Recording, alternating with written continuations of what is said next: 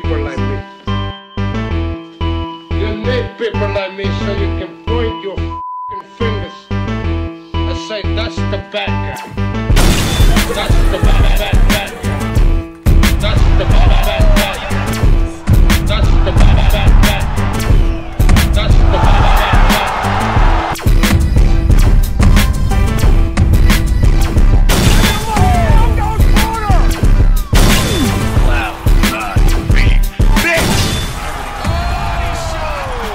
Welcome to the motherfucking relay. We're covering today's top boxing news.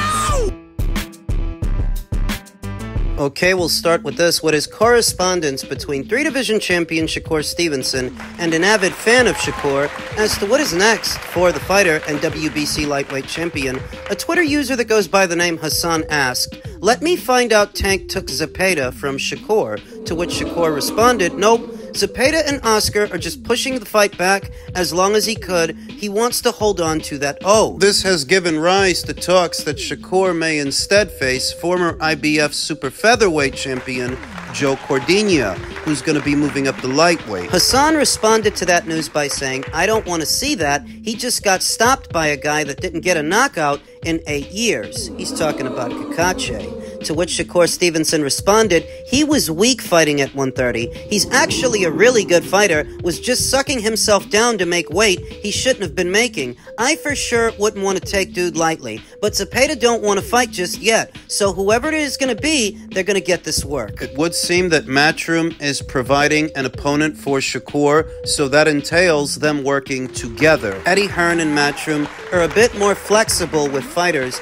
than, say, Golden Boy or Top Rank or some other promotional outfits who would want a commitment from a fighter to do any business with them. Eddie Hearn, he doesn't require one. Remember that he worked with Dillian Whyte for a number of years on a fight by fight basis. Dillian Whyte was never and according to Hoyle matchroom fighter. He never had a contract with them, but he did have a good working relationship with Eddie Hearn, who's more flexible than some other promoters. In more recent years, Eddie was working with Devin Haney. In some ways, he might still be working with Devin Haney, even though Devin's not signed to Matchroom, the Regis Prograis fight. Eddie didn't make it a requisite that Devin Haney signed a matchroom in order to get a Prograis fight. The way that Oscar stipulated, Shakur must sign to Golden Boy in order to get Zepeda. Eddie doesn't do that. It would seem that Eddie's going to give Shakur access to Joe Cordina in the interim, creating an opportunity for Shakur Stevenson to keep busy, make some money,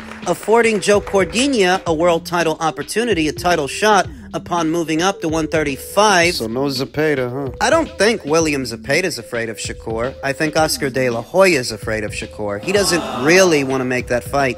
Turki's got to notice it. He has to by now that it's a lot easier making fights, meaningful fights with the fighters across the pond, the fighters in the UK and other parts of Europe. It's easier to make meaningful fights with them than it is to make fights with the American based fighters, either the Americans or just the fighters based out of America, that it's a lot more difficult here. It's like pulling teeth. He has to notice it by now that the American based promotional outfits are a lot more protective of their fighters, and some of the fighters based out of America, they're difficult to work with. To get them in the ring, to put them in a fight. Even if I think William is an entertaining fighter to watch, must see TV, and even if I think William isn't afraid of Shakur, Oscar's afraid of Shakur, it all means the same thing that the fight between them isn't going down. Turki has to notice it. How quickly things get done when you're working with the fighters across the pond and some other fighters based out of Europe,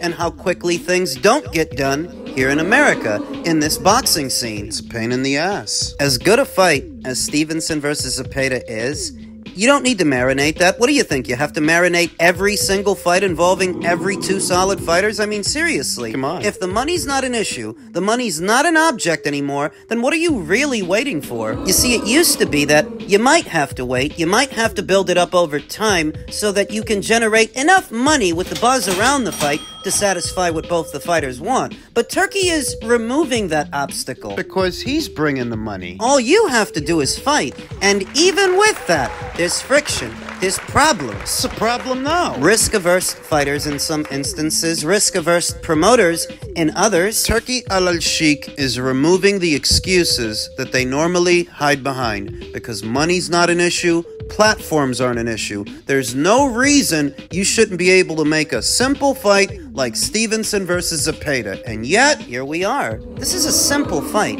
This ain't Maypac. This ain't Mayweather versus Pacquiao. This ain't even Crawford versus Spence. What is the problem? it's not money. The money is there. Frankly, Oscar just doesn't want to do it. It really is that simple. Don't overthink it. There's money, there's a world title. Shakur actually has a profile, more of a profile than the guys that William has been fighting. Everything you need is there, and still, it's not happening.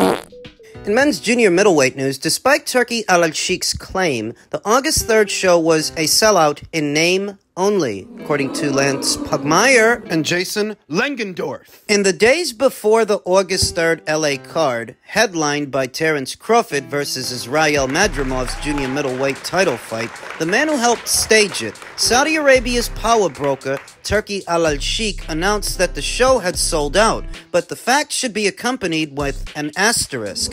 According to a Department of Consumer Affairs and California State Athletic Commission document, reviewed by Boxing Scene, nearly 4,000 tickets were given away for the blockbuster event, Al Al Sheikh's first in the United States. A total of 3,935 tickets to the 21,799 capacity show were categorized as exempt meaning that 18.1% of available seats may have been filled but were not purchased. Organizers gave away $500 seats at the highest rate, with 1,116 of those 3,449 available tickets, 32.4%, going out as freebies. A veteran combat sports ticket broker who declined to be identified because of his connection to the business told Boxing Scene that many fight organizers will paper an event with hundreds of tickets to boost gate numbers and ensure a sellout,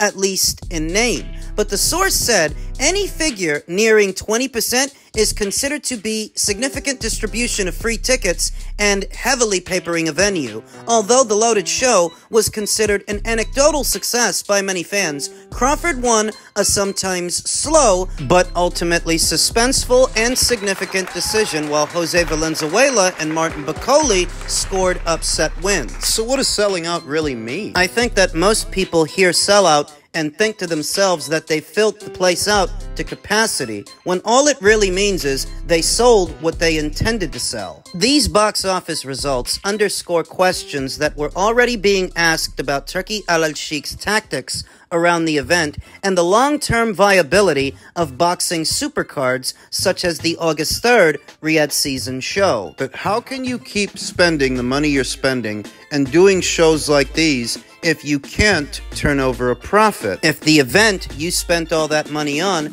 doesn't have an ROI. There are ballpark figures out there as to what the fight generated at the gate, what it generated at the box office, how many pay per views they sold. At the gate, Crawford versus Madrimov brought in over $8 million from 17,799 tickets sold according to the California State Athletic Commission's official box office report. That's the gate. Now, on pay per view, the card is said to have generated somewhere in the neighborhood of $16 million at just under 200,000 pay per views sold. If we round that up to an even 200,000 multiplied by an $80 price point, what you're looking at is roughly $16 million on pay per view and another 8 million or just over 8 million at the gate, coming to a grand total of 24 million. Not too shabby, not bad, but But some people are calling these figures underwhelming. That for the money they spent to do it, an undisclosed number we don't really know,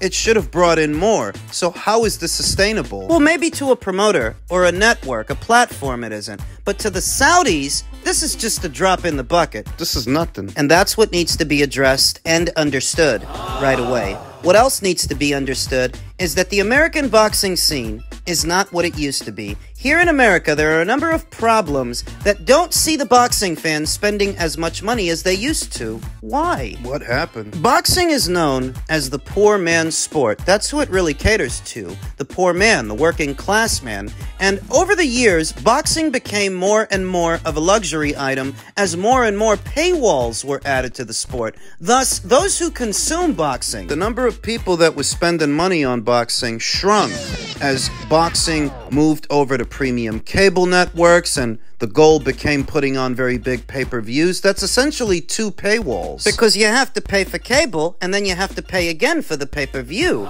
Only so many people were going to do that. And this had a gradual effect over time that saw the audience that consumes boxing shrink over time as other sports are more accessible. easily viewed on terrestrial networks. So you have to consider the effect that premium cable networks and pay-per-views had on the market, the subsequent change to streaming platforms, which still is another paywall, Because you have to pay for a subscription, then you have to pay for the pay per view. the rise in piracy, the uptick in pirate streams that allow the viewer to watch a fight like Crawford versus Madrimov for free, this might leave someone feeling so inclined not to pay. Why should they? That's what they're telling themselves. If they can watch it for free, they will. You have to account for piracy, the uptick in illegal streams, but you also have to account for the uptick in box office fights, as there are more box office fights within a calendar year now than there ever were before, which results in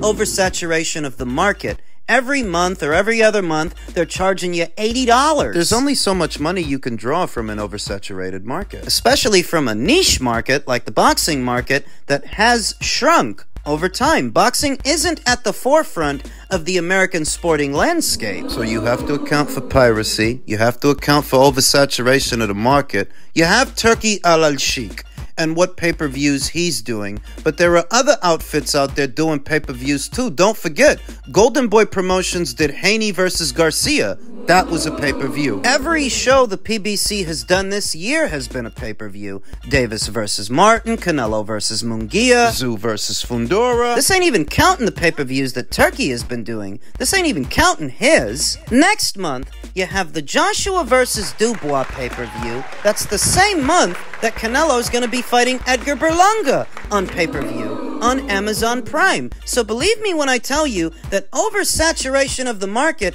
has its role to play as well. There's too many pay-per-views. To where even a stacked card, a great card like Crawford versus Madrimov, might struggle at the box office because every other month there's a fight on pay per view. And don't forget that we pay about three, four times as much as the Brits for a box office fight.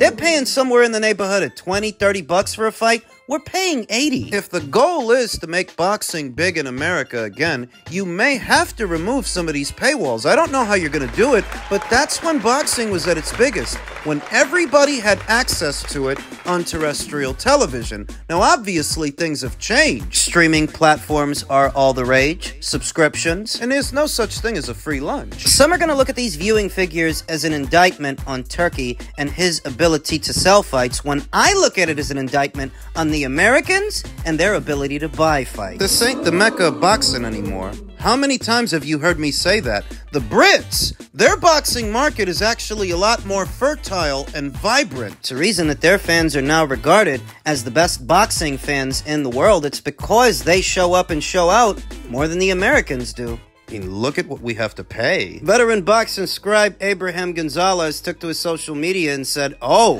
pay-per-view.com revealed the price point for Canelo versus Berlanga. At the end of the day, it's up to you whether or not you will buy or pass. Also, for those that will reply and say, but the Prime Video price isn't out yet, they have priced it the same or a dollar cheaper since their first Prime Video pay-per-view, so Prime isn't giving no big discounts, lol. DAZN will likely do some subscription package, but that's about it. The price point is $89.99, roughly $90. A hundred if you round up. It's practically a hundred dollars. Eighty-nine ninety-nine. That's practically a hundred dollars for a fight nobody was asking Canelo to have. And a card that is far less ambitious than the Riyadh season show we saw earlier this month. you tell yourself that North America is so many times bigger than the United Kingdom. How could you sit there and say that they have a more fertile boxing landscape than we do, that you see better patronage for the sport